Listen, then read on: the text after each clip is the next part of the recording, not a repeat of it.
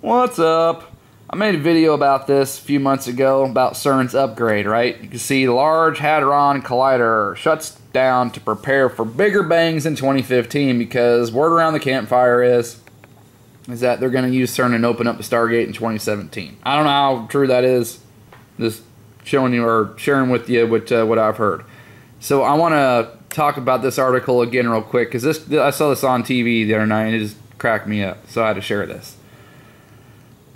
The LHC has been running at top uh, at a top energy of 4 trillion electron volts or 4 TeV per beam, but during the long shutdown, the facility's magnets and connections will be checked and upgraded to the point that it can run at its maximum design energy, yay, of 7 TeV per beam starting in 2015, which I'm sure is going to be great news for all of us. So, I just think it's funny because, you know, that CERN's just surrounded by these magnets. They got them everywhere, and the you know, the theory is that that's what they're doing is they're using these magnets to somehow open up the Stargate. And so it's funny whenever you watch these shows like Under the Dome, new TV show, right, new season, and they say this. Magnetism caused some sort of wormhole. Yes, what if magnetism does indeed cause some sort of wormhole? So I just thought that was kind of funny, kind of interesting, because who knows? You know, I, I think it's going to happen, just my opinion, but I think this is what it talks about in Revelation 6 here and the heaven departed as a scroll when it is rolled together. Because, in my opinion, it looks a little bit something like this. It's even got the two pillars on either, either side of it. Ain't that great?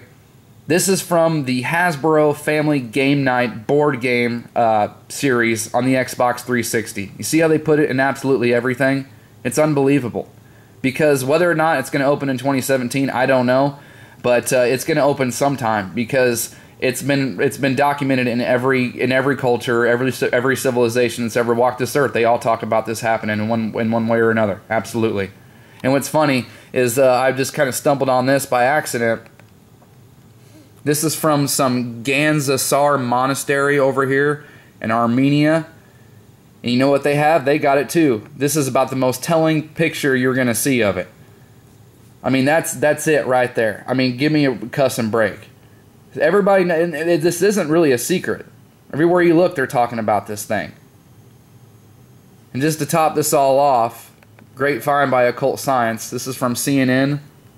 Cyborg implants antenna into skull. And that's exactly what this is about. Some dude who surgically implanted an antenna into his skull. And there's another guy who has a microchip in his arm that he loves because he can just walk around and unlock his house, unlock his safes, unlock his car doors. Without any keys, he just waves his little microchip in front of it and unlocks everything.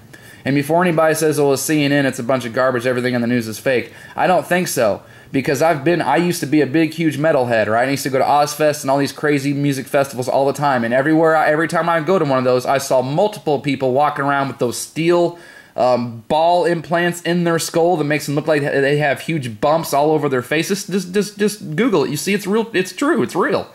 So if people are doing that, and I know how obsessed people are with technology, I know that there are indeed people who are very interested. If it's not this guy, then someone else, I'm sure, has done it, has surgically implanted an antenna in his skull. Things are about to get really, really weird. And hey, just a fun prediction. Let's say they aren't. Let's say everything's just going to remain hunky dory for the next 10 years. Here's a prediction. In 10 years, you and I will be the weird ones that don't want these things implanted into our bodies. Now that's a true statement right there. All right. Thanks, everybody. I appreciate all my support out there, teammates and subs. Thank you very much.